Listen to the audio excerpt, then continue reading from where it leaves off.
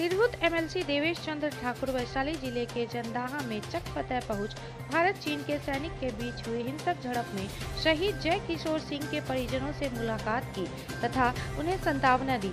जनहदा पहुँच एमएलसी देवेश चंद्र ठाकुर सर्वप्रथम शहीद जय किशोर को श्रद्धा सुमन अर्पित किया। उसके बाद शहीद जय किशोर के पिता, भाई और माँ से मिले, जिसके बाद शहीद के घर हो रहे कर्मकांड का जायजा लिया। इस दौरान उन्होंने शहीद के परिवार को दी जा रही सरकारी मदद के लिए मौजूदा सरकार को धन्यवाद भी दिया। देखिए हाजीपुर से से 24 लाइव के लिए संवाददाता सिद्धार्थ के साथ प्रशांत कुमार की रिपोर्ट।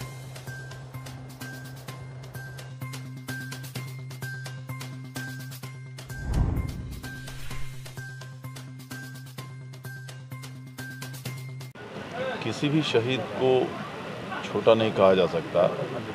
और इस बार तो सब नौजवान बच्चे जो 20 साल से 24 साल तक का उम्र रहा होगा ऐसे बच्चे रो सब लोगों ने अपनी शहादत दी है। मैं समझता हूँ इससे बड़ी शहादत हो नहीं सकती। और इसीलिए हम लोग सब इनके शहादत को सलाम करने आए हैं सम्मान करने आए हैं। क्या सर परिजन से मुलाकात हुई किस तरह का हाँ हमने देखा है। मैं धन्यवाद देता हूँ मुख्यमंत्री को माननीय उप मुख्यमंत्री को। कि उन लोगों ने उप मुख्यमंत्री माननीय उप मुख्यमंत्री आए थे, जो सरकार की तरफ़ से जो भी देना था, राशि चेक उन्होंने दिया है। और एक बहुत बड़ी घोषणा माननीय मुख्यमंत्री ने की थी कि सभी शहीदों के परिवार में से किसी एक को सरकारी नौकरी दी जाएगी। ये बिहार सरकार ने पहली बार किया है। इसके लिए मैं सरकार को, माननीय मुख्यमंत्री को बहुत बहुत धन्यवाद देता हूँ।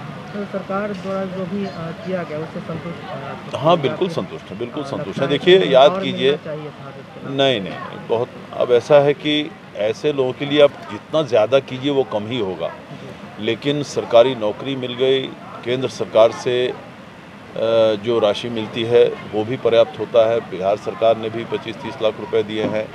बिहार सरकार ने घोषणा किया है कि स्टेडियम बनेगा। यहाँ पर जो मैदान है जंदाहा में, उस स्टेडियम का नामकरण शहीद जय किशोर सिंह के नाम से किया जाएगा। यहाँ पर सामने तालाब है, उसमें पुष्करनी तालाब शहीद जय किशोर सिंह के नाम से किया जाएगा। मैंने अभी कहा है कि हाईवे से अंदर जहाँ प्रवेश करते हैं गाँव की तरफ़, मैं अपनी तरफ़ से, उसमें गेट अपनी तरफ़ से मतलब निजी साधन से एक बहुत भव्य द्वार जय शहीद जय किशोर सिंह, गलवान शहीद जय किशोर सिंह द्वार बनाने की मैंने घोषणा की है। तो हम समझते हैं, हम लोग का दायित्व है और इसको हम लोग पूरा करेंगे। सर अभी यहाँ पे शहादत दिए हमारे सैनिक को तालाब बन रहा है सड़क बन रहा है। तो क्या आप गाँव के विकास के लिए भी शहादत देना होगा किसी को? नहीं ऐसा है कि किसी के पास किसी सरकार के पास पूरे देश में दुनिया में राज्य में असीमित साधन नहीं रहता है। यहाँ पर सिनेमा हॉल क्यों नहीं होना चाहिए? स्पोर्ट्स स्टेडियम क्यों नहीं होना चाहिए? यहाँ पर एक यूनिवर्सिटी क्यों नहीं होना चाहिए गाँव में? होना चाहिए कि नहीं? लेकिन क्या ये संभव है प्रत्येक गाँव में यूनिवर्सिटी हो जाए? नहीं हो सकता। तो ऐसे मौक़ों पर जब हमारे जवानों की शहादत होती है, आखिर कोई चाहता है कि किसी की शहादत हो, लेकिन देश की सीमा की रक्षा करना ज़रूरी है।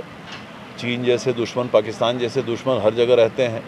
तो ऐसे जवान जब शहादत देते हैं तो बाकी लोगों को भी प्रेरित करने के लिए, प्रेरणा देने के लिए और उनके परिजनों को ये विश्वास दिलाने के लिए कि इनका शहादत व्यर्थ नहीं गया। इन्होंने अगर देश के लिए इतनी बड़ी शहादत दी, अपनी कुर्बानी दी, सर्वोच्च बलिदान दिया तो सरकार ने और जनता ने और आम पूरे समाज ने मिलके उनके याद को हमेशा के लिए बरकरार रखने के लिए भी काम किया है। मैं तो संतुष्ट हूँ जो काम हुआ है उनके लिए। उनके शहादत, उनके यादगार में जो काम हुआ है, मैं उससे संतुष्ट हूँ।